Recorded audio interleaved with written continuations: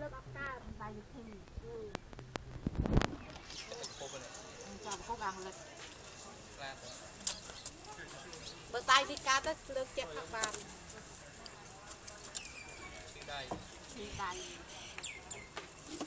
នឹងណាវាយគ្នាតាមនេះណាវាយទេថៃតែតែវាឆក់អីគេបាទឆក់អីទៅខំគេទៅវាយ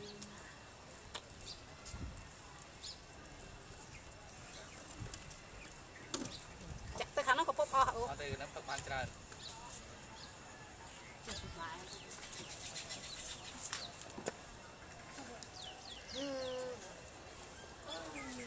ដើរមកយកកាត់ដូចមនុស្សគ្នាណាអូនយកមកឃីមកអូនយកមកឃី